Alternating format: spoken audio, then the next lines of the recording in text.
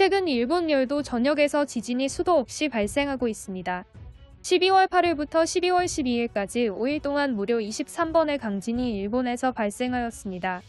12월 8일부터 12일까지의 주요 지진들을 살펴보면 일본 도쿄도에서 남쪽으로 1000km 거리에 있는 오가사와라 제도의 지치지마성 앞바다에서 규모 4.6의 강진이 발생을 하였고 10일에는 도쿄 23구에서 규모 4.0의 강진이 발생하였으며 이시가와현 노도 지역에서 5일 동안 5번의 분발 지진이 발생 중이며 어제 11일에는 후쿠시마 앞바다에서 규모 4.7의 강진이 발생을 하였습니다. 최근 미야기현과 후쿠시마현에서 분발 지진이 발생하며 불안감이 연말에 커져가고 있습니다.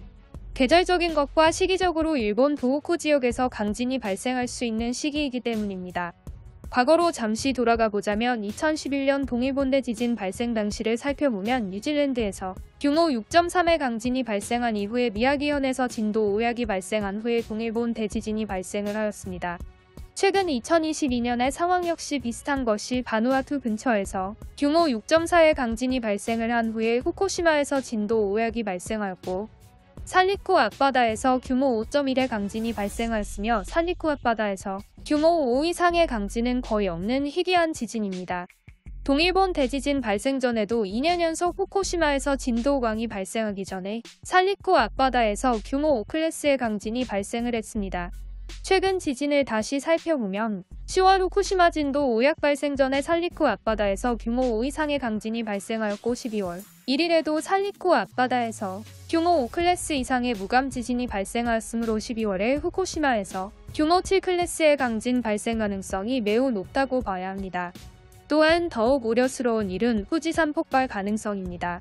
최근 후지산 인근에 미세먼지 발생이 급증하고 있고 하루 10회 이상의 미세한 지진이 지속적으로 발생하고 있으며 후지산 기슭에 자리한 호수물의 양도 크게 줄어들고 있습니다.